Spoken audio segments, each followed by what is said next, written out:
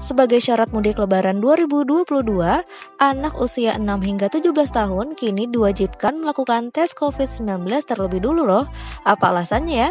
Tonton videonya sampai habis ya moms Dan jangan lupa like, komen, dan share videonya Subscribe Youtube Nikita Channel dan juga nyalakan lonceng notifikasi Supaya moms tidak ketinggalan informasi terbaru dari Nikita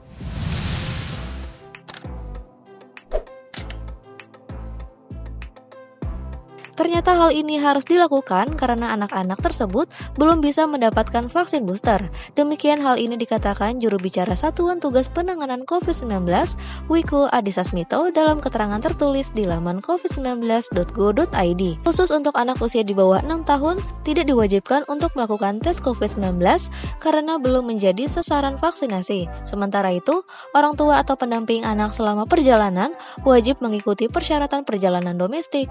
Kemudian bagi pemudik yang sudah divaksinasi booster tidak wajib menunjukkan hasil tes COVID-19.